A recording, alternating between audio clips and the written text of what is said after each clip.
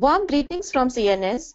Welcome everyone to this very special webinar which re recognizes major scientific advancement in the form of the launch of the first ever child-friendly TB drugs.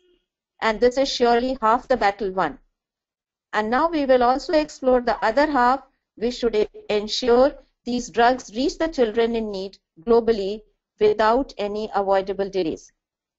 Thanks to the untiring efforts of TB Alliance and its partners, WHO, UNITAID, and USAID, the world's first appropriate child-friendly fixed-dose combination medicines to treat children suffering from drug-sensitive TB were announced just ahead of the 46th Union World Conference on Lung Health in Cape Town, South Africa. Initial rollout of the new medicines that will be manufactured by the Indian pharmaceutical company Macleods is expected in early 2016 and would go a long way in improving treatment adherence and survival for the 1 million odd children who become ill with TB every year, with an estimated 140,000 of them dying every year. Launch of these new anti-TB drugs for children is a major scientific leap, but a lot more work is needed to ensure quick access to children in need globally. If we look at the recent past, there has been unacceptable delay in translating scientific achievements into public health gains. For example, female condoms were approved by US FDA in 1992, but yet are not scaled up globally. And unmet need of preventing unintended pregnancies continues, STIs and HIV is also gaping large. Similarly, pre-exposure prophylaxis was approved by US FDA in July 2012, but we are yet to see its optimal uptake in, other, in our countries. Two new major TB drugs, as all of you know, bedaquiline and delamanid, which were major scientific achievements in the TB world, are yet to be fully utilized in evidence-based manner by high burden countries. We do not want these avoidable delays in rollout of child TB friendly drugs. This passing of the baton from scientists to those who roll it out and ensure that these reach all children in need globally must happen as efficiently as possible and that is why we are going to listen and interact with a panel of experts to solve this riddle. Today in this webinar, our distinguished panelists are Dr. Cherry Scott, Director of Pediatric Programs at TB Alliance, who will tell us what these new first ever child-friendly TB drugs are. Then we have Dr. Lucica Ditiu, Executive Director of the Stop TB Partnership. And last but not the least, Dr. Brenda Waning, who heads one of the most important initiatives of Stop TB Partnership, the Global Drug Facility. In 2014 alone, GDF had delivered over 24 million TB treatment courses in 133 countries globally. So GDF has an important role here. Welcome to all the panelists. Before we invite our first panelist for expert comments, please allow me to make a few announcements. All participants are requested to please send us your questions while the panelists present. No need to wait till the end. Just type your questions in using the chat function or raise your virtual hand, which you will see on your screen during the question and answer session. I also humbly request all panelists to please present in time. You have each panelist has about 10 minutes to present so that we have a good time left for question and answers as well. Let us now hear from the experts without any further delay. Dr. Cherry Scott, Director of Pediatric Programs from TB Alliance. Over to you, Cherry. Thank you, Shobha. I greatly appreciate the opportunity to talk this morning. Um, let me share my screen. Uh, so I just wanted to give some information on the products that are being made available currently, but also to give some context because um, I think that's important to understand how best we can move forward uh, to make the, the complete rollout and to get these products to patients as soon as possible. Um, so we've known historically that uh, even though TB causes significant death in children, uh, they uh, they're often quite neglected in this space, um, and they often get the most severe forms and fatal forms of TB. Yet for for many years, they've been kind of in the shadows, as we would say. Um, undiagnosed and untreated. Uh, we've gotten better estimates. A lot of that has happened through collaboration through the project. Uh, but currently, the estimated uh, number of children that get TB each year is 1 million. Uh, and the number of children that die from TB each year is 140,000, and that does include now HIV positive children. Uh, so, and we also know that child TB often hasn't been included in the child health and survival space, even though it causes significant disease. Uh, oftentimes, TB hides within other diseases, or there's co-infection or comorbidities, and TB is often ignored. Uh, so what we had in the in the past before we started before we initiated this project um, with WHO with UNITAID funding and USAID funding, we had a situation where the guidelines changed uh, to uh, to basically represent that children are not small adults, uh, but actually have unique needs. Uh, so they actually required higher doses of the product or the drugs for TB, uh, and so there was a kind of issue uh, for you know recommendations published around these new guidelines. But the guidance changed and the policy started to change, but the products that to meet that policy did not change. Um, and so that was an issue. And so what you had was a situation of about uh, almost three to four years where um, and now actually five years, where providers were doing all types of uh, uh, methods to get to the right dosage for their population, for the children that were getting TB uh, in their countries. Uh, so across the globe, you had some using, you know, different products. There were some older, incorrectly dosed products on the market for pediatrics. There were adult medicines. Um, there were just a lot of variety syrups. Um, and on the next slide, you can just get a sense of how diverse the treatment and how complex the treatment situation was for children over these last several years. Um, in the in the far left, you have the Philippines, which was using syrups at the time, which um, a lot of people feel that syrups are quite easy to use, but they also present a lot of challenges, especially on the supply side. Uh, they're heavy, they you know require cold chain, and in addition to that, you can see all the weight bands that are needed to administer. Um, so it can get quite convoluted. Uh, and then also in the middle, you have South Africa, which is using a mix of adult and pediatric products, but still that requires crushing and breaking of pills by providers and caregivers. And then on the far, you have Thailand that tried to come up with its own solution, but in some areas of the country where they were having pharmacists actually weigh and crush the pills and then provide parents with a solution um, to prepare at home. Uh, so it, it was quite a complex situation.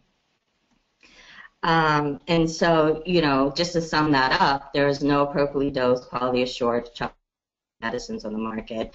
Um, many providers had to use various methods, like I in indicated, uh, and it, that becomes very burdensome. And for a six-month treatment, um, it can be quite um, uh, quite a responsibility and, and, and, and very hard. And I think it, it leads to it definitely leads to problems with adherence. Uh, and then also the medicines are quite poor tasting, uh, and and it makes it even more difficult for, for to administer a, a drug to a child. So this inconsistent administration country country means there is no unified response to the problem so now we're in a situation where we can, you know, we're, we're, we're very, you know, uh, proud to kind of stand before you and say, yes, we have a manufacturer ready to supply. The products are available. They're globally available through the Global Drug Facility, um, who has who has also contributed throughout the project, um, and is essential to really have that what we say global availability. Um, so we're, the two products are you know, they're fixed dose combinations, so meaning that uh, children don't have to take a multitude of pills, but can take three, you know, uh, all the drugs they need in one pill. Um, so uh, the first drug is a three drug for the two-month intensive phase, which is rifampicin 75 milligram, isoniazid 50 milligrams, and pyrazinamide 150 milligrams. And then for the four-month continuation phase is a two-drug, rifampicin and isoniazid.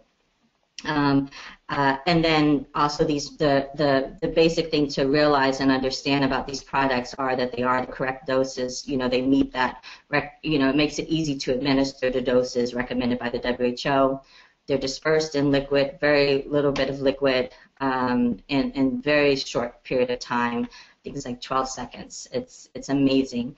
And then they're palatable fruit flavors, so that a child can easily take them. So this is just kind of a, you know, really just graphically showing you exactly what we what we were before and now what we're going to. So what does it mean now that we have improved TB treatments for children? Uh, that means that, you know, with the right medicines and the right dose, you improve adherence and you do save lives. Uh, so this is a very important step to improving TB treatment for children, but also child survival. Um, and then it also decreases development of drug-resistant TB. Uh, and then, and so and in allow by allowing children to be cured. Um, then you have simple formulations which also decrease the burden on healthcare system and enable scale up in treatment. As we know, a lot of our healthcare um, systems are quite overburdened. Um, and so any simple solution oftentimes has a huge effect and impact on the lives of those who are working on the front line. So um, we feel that this is definitely a simplified treatment and will definitely help the healthcare system um, to also treat more kids because it's less burdensome. So um, there's a, a, a, more opportunity and more time and more um, resources to be able to identify and then also treat more kids. Uh, and then we have child-friendly medicines that improve the lives of children, TB, and their families. And, and that's uh, kind of uh, obvious in the sense that, you know, TB is a curable disease. There should be no reason that a child who is diagnosed with TB should not be treated effectively for the disease. So we've so we have availability. We have availability. We have you know the ability for supply. Um, but now it's you know that's just one step. I think Shobha you know mentioned that right off the bat that yes it's great we have the drugs available, but now the real work begins.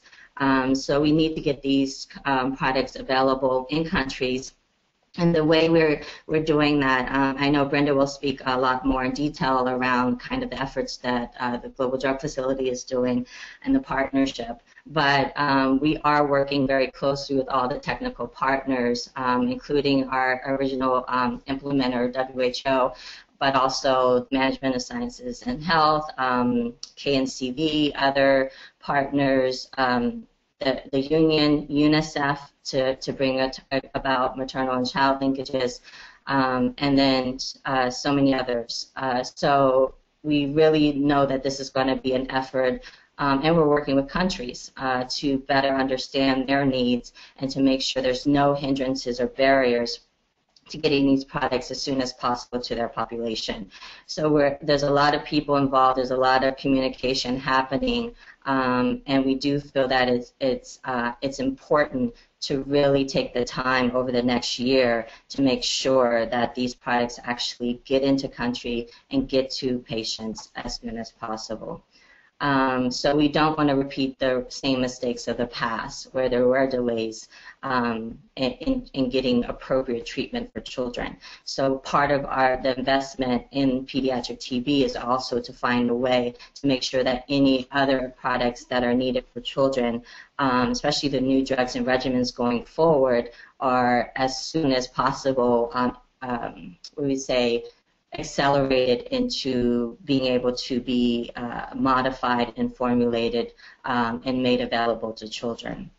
So research, uh, investment in research is uh, heavily needed, especially um, uh, a lot with, for, for children, but for, of course, for all uh, those who need treatment for TB. So there is a call to action um, that is, has been issued to increase awareness, political will, and resources.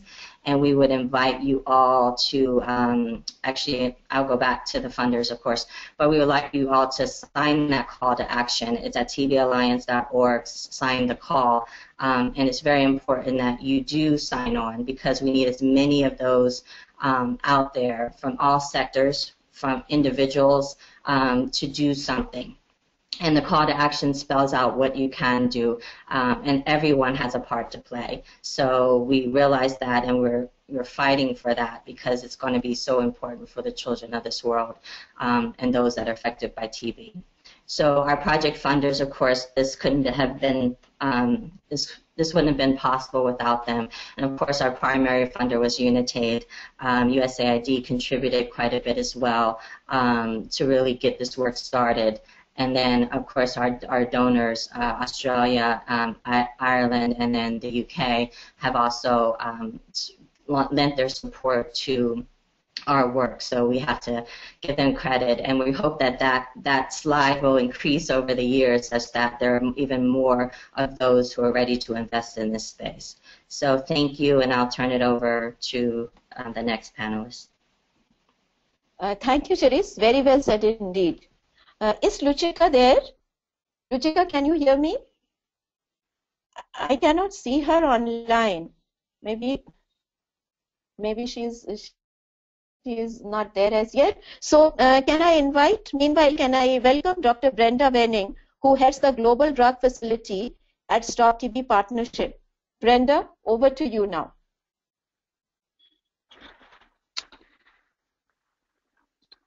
Okay, thanks. Thanks very much, and um, thanks for the invitation to present in, in this webinar. It's really a, a very exciting time for uh, pediatric TB with the recent launch of the first ever child-friendly formulations in WHO uh, recommended doses. Can you see my screen there? There we go. Um, uh, we're, we're, we're getting you on now. Okay. So the webinar title is a good one um, in that it suggests that we are uh, halfway there in terms of reaching our goal, and the, the question is, what's the other half? And the other half is pretty simple. Uh, it's basically now that we have these formulations, we need to get them to the people who need them as quickly as possible. So what needs to happen in order to do that? We need to increase awareness and demand for these products. We need to secure financing. We need to support countries to adopt these new medicines. We need to procure medicines and actually begin the treatment. And we need to manage the market. So I'll quickly go through each of these five key activities. The first one is around uh, increasing awareness of the products and demand for the products. And here we're looking at target audiences of practitioners, care advocates, policymakers, and we're looking at audiences at both global levels and national levels. So we need to launch we need to launch awareness campaigns uh, to ensure that these key decision makers and consumers actually know that the medicines exist. We shouldn't assume that because all of us know that these products are available that others know. It actually takes quite a lot of effort to spread the word so that people know the products actually exist. And then we need to actually educate these decision makers and consumers on the real benefits and advantages of the new formulations that Cherise noted earlier. We know that these formulations will greatly facilitate the treatment of pediatric TB, and we should really use this opportunity to garner even more political will to treat children and elevate treatment goals and expectations. Finally, there are scenarios when procurement policies can be utilized to quickly increase demand for these products. Donors and other third-party payers have the ability to mandate or encourage the use of these improved formulations. And the Global Fund has had great success in using this policy lever. For example, when they mandated purchase of malaria treatments in only fixed dose combination formulations. The same type of an approach could be used now that we have the optimal product for pediatric TB. Second, we need to ensure there's adequate financing to purchase these new formulations. We need to advocate for appropriate financing in countries who are funding their own programs, and we need to support those countries who receive global fund financing as they work through budget reallocation or reprogramming. And again, because countries will have to go through some type of reallocation or reprogramming exercise, this offers an incredible opportunity to revisit the pediatric TB treatment targets. And the Global Fund's TB Situation Room is an effective means to monitor progress towards targets and provide support as countries work to reach higher targets. For countries that will soon be transitioning from Global Fund financing to their own domestic financing, we need to work with them to make sure that they will continue to purchase these improved formulations even when they move away from global fund financing. And finally, securing additional funding to provide bridge grants to countries for the initial conversion to the new formulations could have dramatic impact on the rate at which these products get to children in need. So once we've managed to generate demand and secure financing, we'll need to support countries in the adoption of these products. And support should include the provision of technical assistance and capacity building to revise pediatric treatment guidelines, effectively manage the phase out of the old formulations and the phase in of the new formulations, and help countries to quantify and forecast their treatment needs. This type of support can take many forms, including individual targeted missions to countries who are looking to adopt these products, mobilizing in-country partners such as uh, the ones that Cherise noted earlier, KNCV, Challenge TB, uh, WHO, and others who can provide follow-up and ongoing support. And the provision of regional and country workshops and training for people working in TB treatment programs, partners, and consultants. So once the country is ready, the next step is really to simply procure the medicines. And these new pediatric formulations are available for purchase through the Global Drug Facility, and I've provided uh, information on how to um, contact the Global Drug Facility in order to purchase these, these drugs. So the fifth and final set of activities really has to do with active market monitoring and management. The pediatric TB medicines market is very small and very fragile. As such, it's not easy to attract new suppliers into the market. That's essentially why the TB Alliance was given this grant in order to provide incentives and support to bring a manufacturer into the market. Now that that's done, we need systems to actively monitor and coordinate both the demand and supply sides of the market to make sure that we have consistent, uninterrupted supplies of medicines in countries and to ensure that we're not wasting medicines. We know from active management of other similar small markets, it'll be critical to have reliable and timely forecasts that can be communicated to manufacturers to inform their production planning. We also know that we need to consolidate the number of formulations used in pediatric TB to the fewest number possible. When you have a very small market, it's critical to keep the number of formulations to the smallest number possible that still allows for good clinical treatment of the children. We also need to coordinate or pool our procurement. And here we could think about establishing a pediatric TB procurement working group that's similar to the one that's been very successful in coordinating the procurement of pediatric medicines for HIV. We should also think about keeping a central stockpile of medicines. At the GDF, we have such a stockpile, and this has been really important, and it allows us to respond immediately to emergency orders when countries have them, and reduce lead times for regular orders.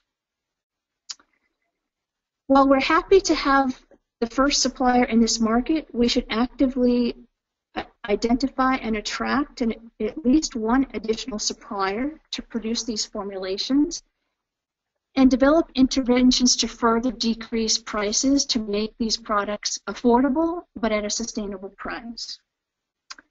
And finally, if we're doing all this work, we should really actively monitor and, and evaluate the introduction of this product so we can share lessons learned with all stakeholders so we can continuously improve new product introduction and make sure products get to the highest number of people as quickly as possible.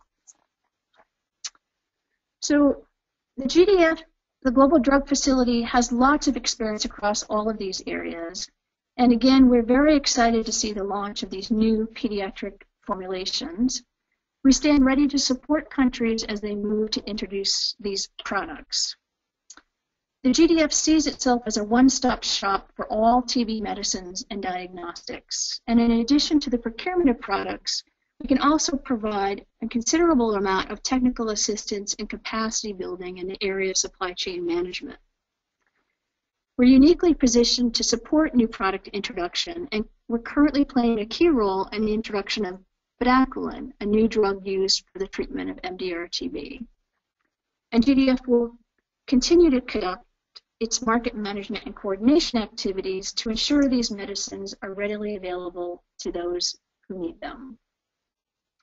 So finally, thanks again for the opportunity to be part of this webinar, and thanks uh, to the TB Alliance for um, running such a successful project that got us this greatly needed formulation and ahead of schedule. Uh, thank you, Brenda, for a very inspiring presentation. Uh, I, I was really taken off. uh, Lucica, I think, is having some uh, technical glitches there. She's in Tokyo right now, and uh, but uh, probably she came online and then she says that she cannot uh, connect, reconnect again. So meanwhile, we will begin with our question and answer session. Uh, participants, please keep sending your questions using chat function or raise your virtual hand you will be seeing on your screen. Uh, we already have a few questions with us. Uh, a person from Nepal wants to know, Brenda, what is the shelf life uh, of these new uh, child-friendly formulations? Do they need a cold chain? And what will be the cost as of now of a six-month treatment if uh, the medicine is taken through the GDF? Thanks very much. Um, so I'm just to say, uh, we're getting this information from the TB Alliance, so thanks to them for providing this. But they've told us that the shelf life is is two years. There is no cold chain requirement uh, because it's a, um, a dispersible uh, tablet, and the price per um, complete treatment for the two phases will depend on the weight band, of course, of the child because there's four weight bands, and I can uh, turn this over to Cherise if she wants to add something. Uh, but basically, for the lowest weight band, you're at around $16, and for the highest weight band, you're at around $64. That's without the ethambutol. But Cherise, I don't know if you want to, to comment on that.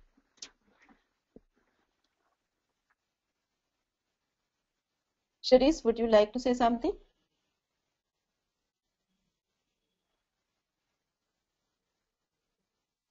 Cherise? Um, hello, can you hear me? Yes, yes, we can hear you.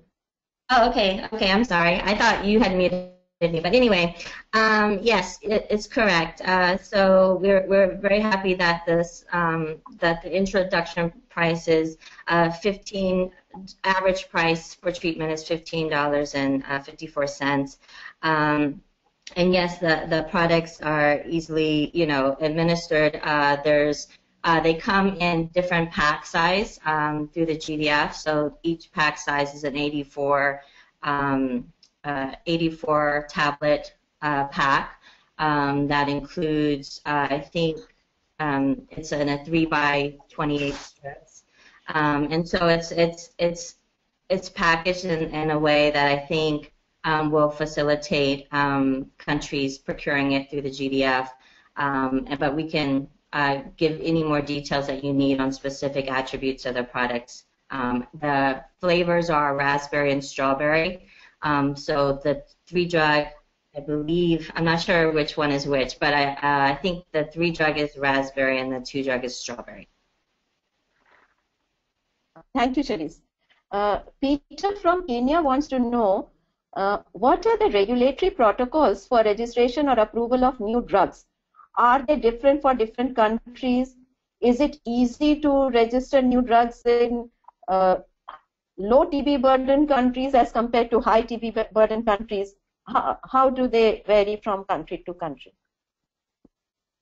Uh, well, uh, I can I can take a stab at that. So it is different country to country, um, and there are various mechanisms uh, that countries can utilize to get the drugs. Um, but there's also, so we're working with countries very closely just to kind to understand how best we can get the products into country as soon as possible. So there's the regular processes within countries, but there's also expedited ways of getting products as quickly as possible, especially for public health needs such as this. Um, and so it is a conversation with each country. But the Global Drug Facility, getting products through them because they're under the UN, um, the United Nations kind of umbrella, allows for a mechanism to to accelerate that in, in many countries. So that's one benefit um, of having a, a, a, supplier such as the Global Drug Facility. Um, and then there's other um, mechanisms where countries have to actually uh, add their own approval uh, as well. Um, and so we're just working with each country to figure out the best way for them because um, there, there are multiple options. Okay. Thank you. I think Kenya has already committed to rolling out the drugs as soon as uh, they are available in the market. I, I think that is what the uh, National TB Program Manager from Kenya promised at the conference. So that is correct. Yeah. Now, uh, Rajat Gupta from Chennai wants to know, are there any patent-related or IP-related obstacles you foresee? Brenda, question for you. Any patent-related or uh, IP-related obstacles you foresee? Um, I think I'll turn that one over to Cherise. I mean, the, the, the drugs themselves are not patented. Um, and Cherise, I don't know if there's a, a, patent on the actual formulation of the Macleods FDC. Um, but even if there were, there's enough know-how that, that you know all the Indian manufacturers know how to produce a product like this, and none of the individual drugs are, are patented. That is correct. Um, you know, I think each manufacturer does have, you know, um, some IP, but I think within our agreements with all manufacturers, there's a commitment to ensure that they're supplied to the to the elite for definitely the public sector, and so we don't foresee that there will be any issues around that. Okay. Uh, I request the participants once again to please keep sending your questions using the chat function or raise your virtual hand, which you will be seeing on the screen. Uh, I find Sumita Thapar who raising her hand. She is CNS special correspondent and also and right now an independent journalist from UK. Uh, Sumita, uh, you want to ask your question? Uh, yes, Sumita. Uh, I don't know how to ask. I sent the question on chat. Would, would you like to ask the question? Right. So uh, the last slide where Dr. um, uh, spoke, you know, like how uh, a child with MDR has a, you know, a, a, daily dose is a handful of drugs. So I just wanted to know a bit more on that. Uh, you're talking about the the second line drugs.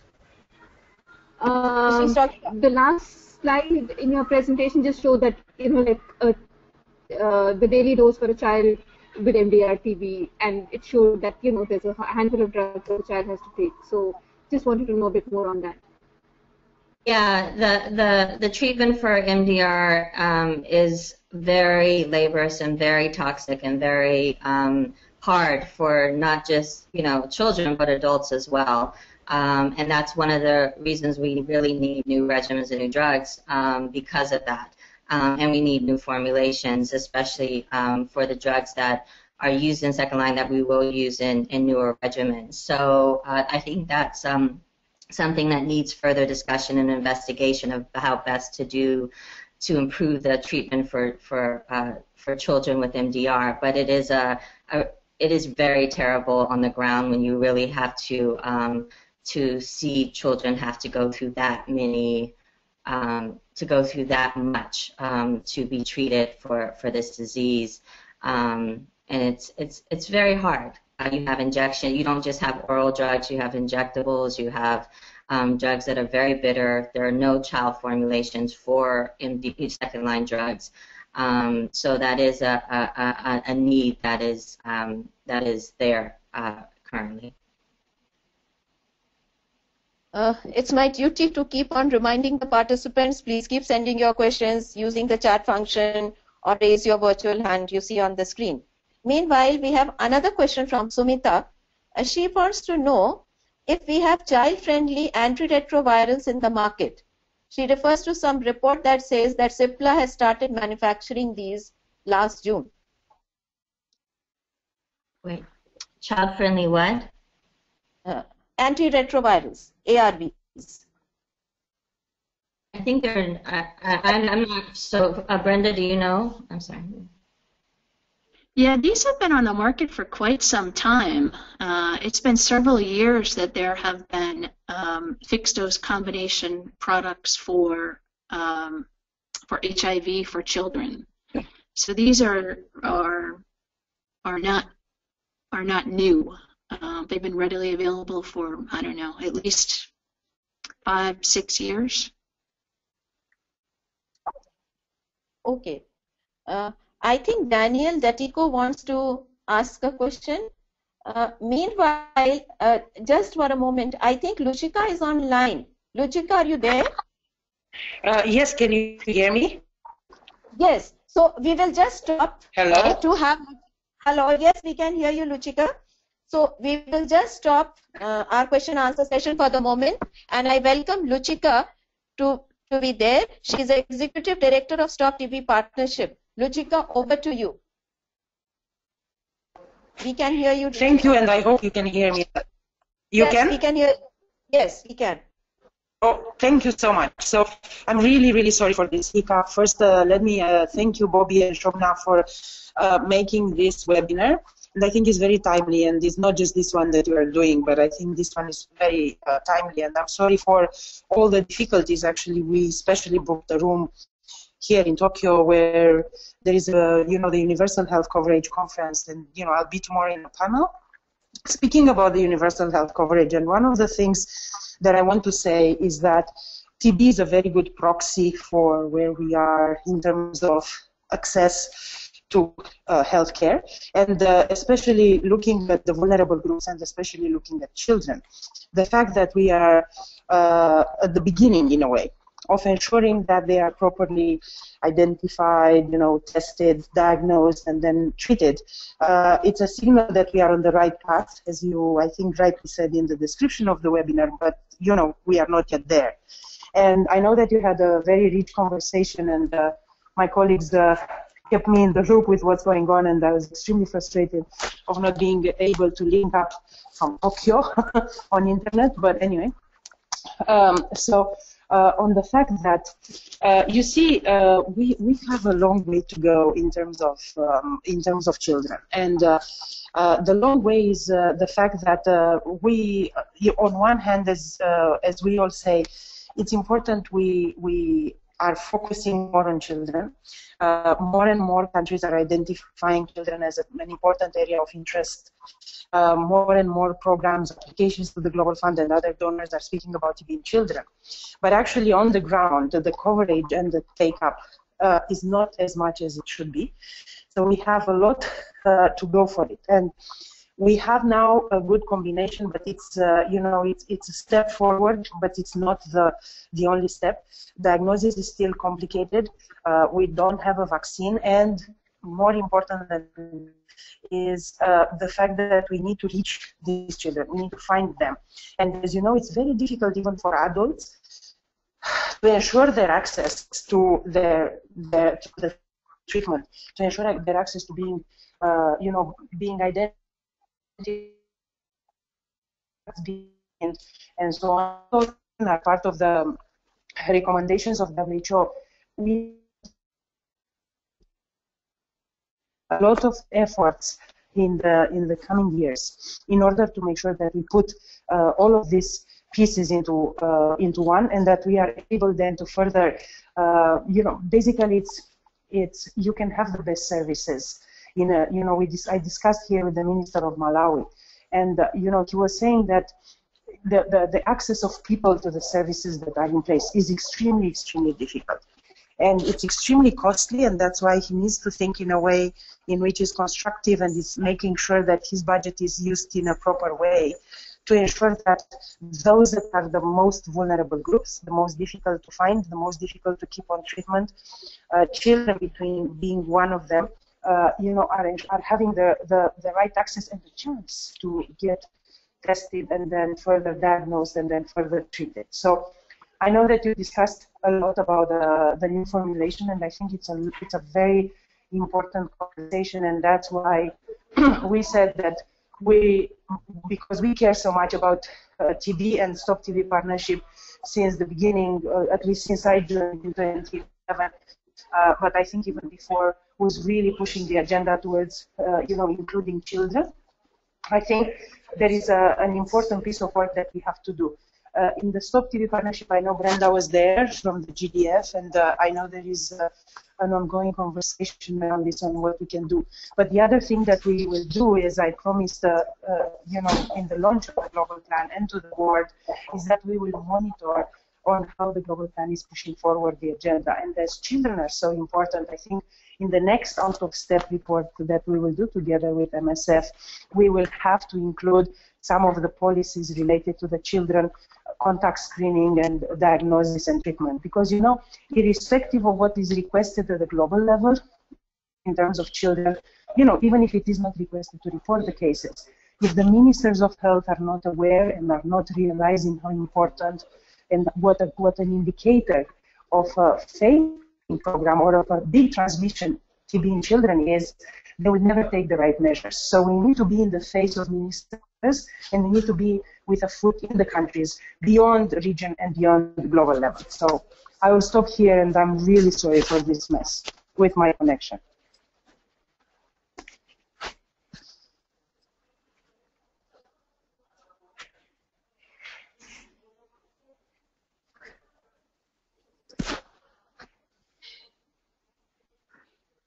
Hello? Hello? Hello? Okay. Ruchika? Yeah, I, I finished. I finished. Did you okay, hear me? Okay. Thank you. Thank you, Lucica. Thank you so much. I'm reminding the participants once again to please keep sending your questions using chat function or raising your virtual hand. Meanwhile, we are proud to have as one of our amongst our participants, uh, we are proud to have Daniel Datiko, who was the Fortune Prize winner at the 45th Union World Conference on Lung Health in Barcelona. We are very happy to have him with us. He is Executive Director of Reach Ethiopia and has a question to ask as well. The question is, is there any mechanism to make sure high burden countries get it on board to make the drugs available and within reach of children? How can we ensure high burden countries to get the drug on board? Um, for I'll, I'll answer if um, no one else has a comment. Um, I I think this is Cherise. Um, so one of the things is from the very beginning, it was engaging countries and and really talking with them, making them aware of the availability of these products. I think, and that, that they were coming, um, and when they were available, making sure they had all the information they needed uh, to to really plan and make uh, preparations to transition to these new products. And so those discussions have been going on with all the high burden countries that um, were willing to to participate, and that's actually the quite a, the majority of them. Um, and so we're we're actively talking with them and engaging them with all our partners um, to really ensure. And you would. Uh, we're, we're very hopeful that a lot of the countries, as soon as it's possible for them, based on, you know, there's a few things, steps that need to happen, including ensuring that their budget is there, and like some of the things that Brenda outlined, there are some steps that need to happen, but countries are actively moving towards getting the drugs as soon as possible. Daniel, any more questions to come from you? Would you like to ask something else?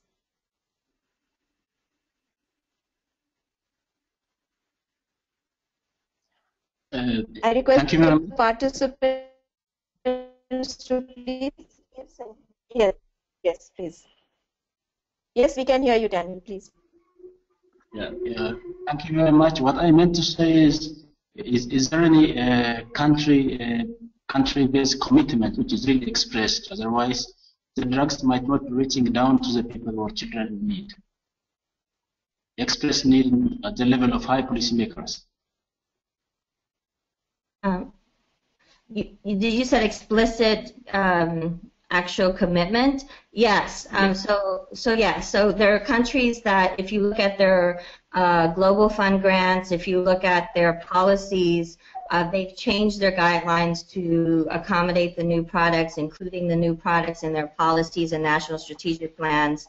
Um, they've included them in their, their funding mechanisms already. A lot of countries already have an allocation for pediatric products. It's just a matter of um, uh, uh, there are other variables that may need to happen depending on the country. So yes, there are firm commitments from a lot of countries to actually procure these products. Um, they have budgets or they have within their planning, you know, strategic plans uh, to to utilize these products. So um, we're very it's very promising on that front. Thank you. Uh, we have a question from Fatima from Bangladesh, uh, and she says, what about children under six months of age who are supposed to be exclusively breastfed? And we do have children as young as two, three months old who get TB, even MDR TB. What is the policy in case of for case of such children?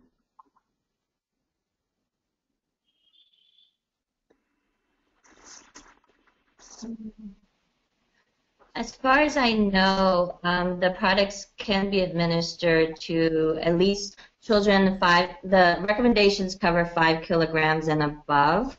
Um, although we do know young children are being treated with TB um, with these products, but we're in the process of trying to make sure and clarify the guidelines for those under five kilograms. Um, and so that's in process, and, and we just need more evidence on the on the youngest. Um, so I think we're, we're working towards that, but unfortunately, um, there are no set guidelines yet for those under five uh, in the smallest weight band, or so the youngest babies. We are still waiting for participants to send in more questions through the chat function or by raising your virtual hand, which you must be seeing on your screen. Of course, the webinar recording will be made will be online uh, once we get over with it, but uh, we are just waiting for a few more questions.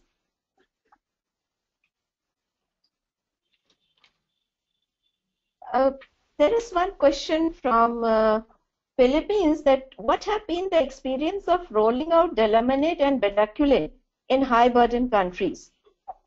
What have been the roadblocks and still are the roadblocks in making access to them easier for people in need of them? So um, this is Brenda here. Um, we've had uh, recent success with the rollout of bedaquiline. Um, we're eagerly awaiting an active rollout of Delamanid. Um, you probably know that last year, uh, this past year, USAID announced a donation program for bedaquiline. that allows for 30,000 treatments of bedaquiline over four years. And they uh, mandated that that bedaquiline program be managed through the Global Drug Facility. So we've been working closely with USAID as well as uh, a task force that um, brings together all kinds of stakeholders at national and global level um, to work together to make sure that we get bedaquiline to people as quickly as possible. Because it's a donation program, the price obviously is not a barrier at all. The barrier has been, um, as I presented in my slides, uh, first making people aware that the product actually is available and how to obtain it. And then um, even more difficult is actually, you know, um, doing what's needed in country in order to incorporate the bedaquiline into uh, new treatment regimens. Uh, the WHO has five different criteria that they um, mandate must be in place in order to use bedaquiline. And that has uh, really been the rate limiting step in getting countries to uh, start using bedaquiline. But in the first six months of of the um, donation program, there have been more than 30 countries who have requested bedaquiline for about 2,000 patients. So as of the last month or so, it's really started to pick up in terms of numbers, and we hope that we will see uh, those numbers continue to increase in 2016 even more rapidly. Um, we are hoping and expecting that uh, delamanid will be commercially available uh, in 2016, and we would expect to use the, the same type of a platform with the task force, with the Global Fund TB Situation Room that Lucica can speak to, uh, and with the GDF mechanism to really uh, support the uh, product rollout for delamanid as well. Uh, thank you. Lucica, you want to say something? Ruchika, are you there? Okay. Uh, meanwhile, Sumita Thapar, independent journalist from UK and also special correspondent CNS, wants to ask another question. So, uh, uh, Sumita, would you like to ask the question yourself? Right. So, uh, I'd like to know why did it take so long to develop child-friendly TB drugs? So I think this is Brenda. I, it's a really good question, and it gets back to um, you know the point that I was making in my presentation, and that is there there aren't any incentives because uh, manufacturers don't make uh, a lot of profit, and there's a lot of risk involved in making pediatric formulations. And this one was especially challenging because the reality is the WHO guidelines for pediatric uh, TB were such that there were never actual uh, formulations available to provide the doses that WHO was recommending.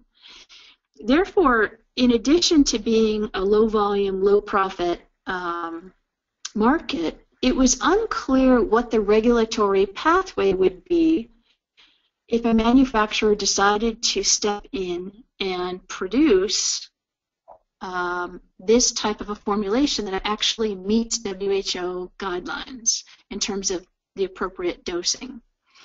And that was a real barrier because um, it, it wasn't clear what the process was or what it would cost. And so you have to think about the barriers at the global level to get um, approval from a strict regulatory authority like the WHO pre-qualification program. You have to conduct a lot of tests and supply a lot of data in order to um, to get their approval. And because this was the first of its sort, there was no historical guideline that would say this is exactly what you need to do and this is what it will cost.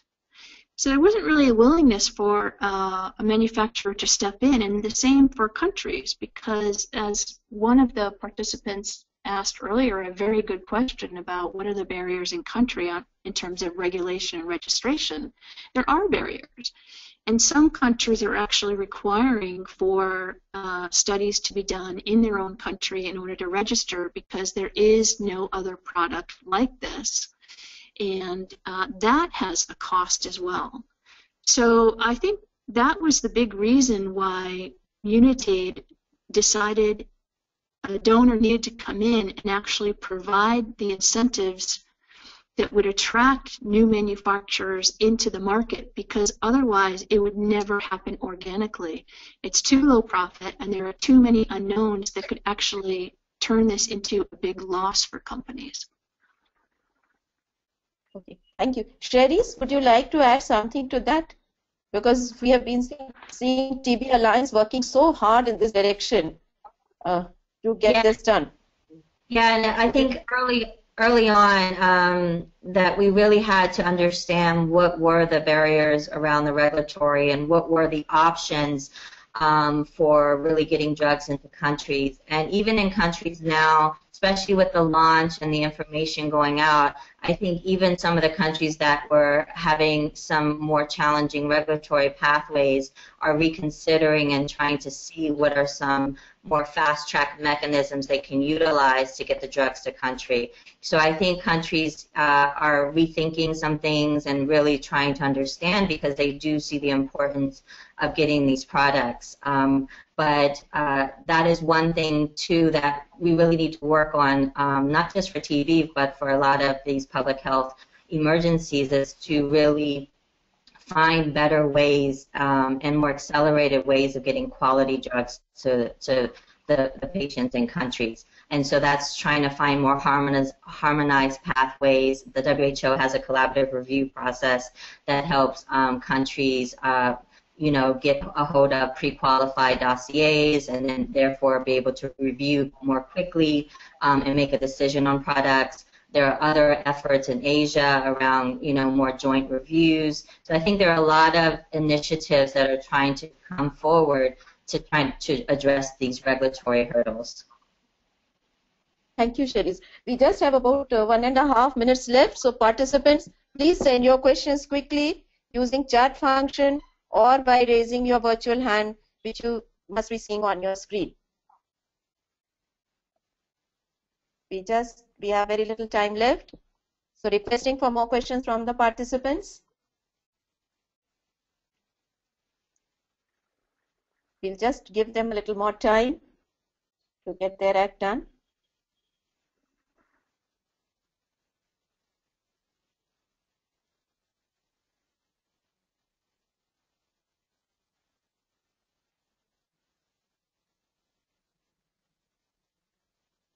No more questions, it seems.